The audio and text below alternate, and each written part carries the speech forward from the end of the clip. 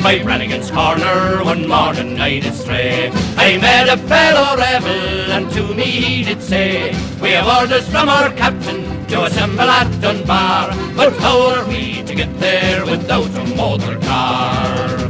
Oh, Barney dear, be of good cheer, I'll tell you what we'll do.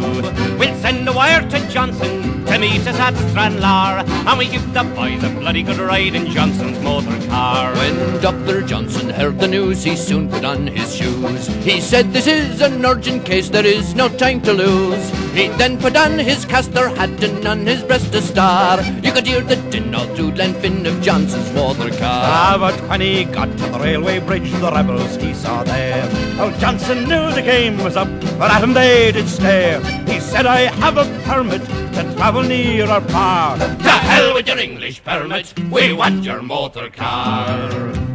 What will my loyal brethren think when they hear the news? My car, it has been commandeered by the rebels at the loose.